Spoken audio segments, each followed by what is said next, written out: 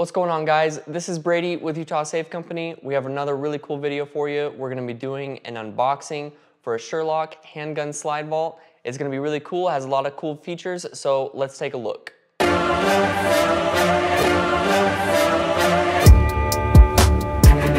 So this is the Surelock handgun slide vault. This is our second unboxing video that we've done. If you like these types of unboxing videos, leave us a comment down below and we can do some more of them.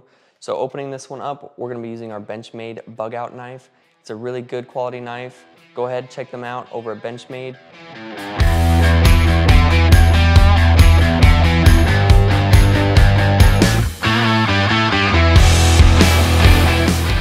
The really nice thing about this safe is that it's really small and discreet. So it's three and a half inches high by 10 inches wide and 12 inches deep.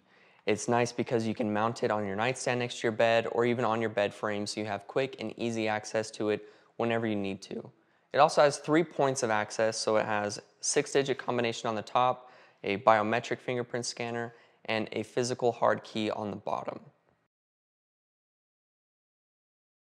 So to run the electronics in the safe, there's a light on the inside, so it'll come on when it pops out the biometric fingerprint scanner, and the six digit electric combination on the top, you have two options to power it. There's a battery pack here on the back side of it, so you put four AAA batteries in and it'll keep it charged that way.